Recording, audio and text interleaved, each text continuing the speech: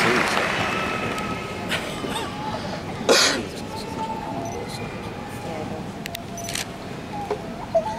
would like to start off with thanking all of you sitting in front of me today for electing me as the student body president and providing me with the opportunity to represent our class today at graduation. I'm honored to congratulate each and every one of you, all of my friends and classmates, for making it all the way here to graduation today. If you look in your programs, you'll see that I'm going to be back up here in a few minutes, so this one will be a little bit shorter so we can get diplomas a little bit sooner. Without a doubt, the past four years at Miamisburg High School have helped shape us into the people who will be for the rest of our lives. After today, we'll all branch out in our own direction, whether that be the military, at college, or joining the workforce. The lessons that we've learned from our teachers and our peers will carry us far in life.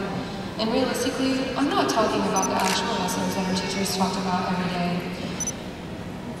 After all, in the words of Albert Einstein, education is what remains after one has forgotten what one has learned in school.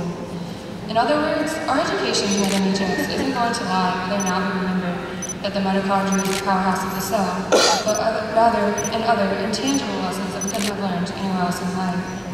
We learned selflessness from teachers who spent hours of their own time to assist us in studying and preparing for exams. We learned from our classmates kindness when they offered us notes when we were out sick, donated blood to those who needed it, and helped raise money for various charities across the past four years. We learned to persevere through late nights spent studying and the exhausting mornings that follow. These are the seeds that have flourished into the life lessons that last far beyond the memory of conjugating verbs or reciting the quadratic formula. As we've now grown up from freshmen to graduates, we are prepared to go out and leave our mark on the world. Although we will branch out in so many different directions, we will always be connected to our roots here at MHS. Lessons that we've learned for the past four years, those are the lessons that will serve as our base, allowing us to grow tall and spread our branches wide. Without a doubt, I look forward to hearing about my fellow Miamisburg graduates achieving success in all sorts of endeavors in the future. We will be doctors, scientists, lawyers, teachers, and so much more. When we leave here today, I encourage all of you to go.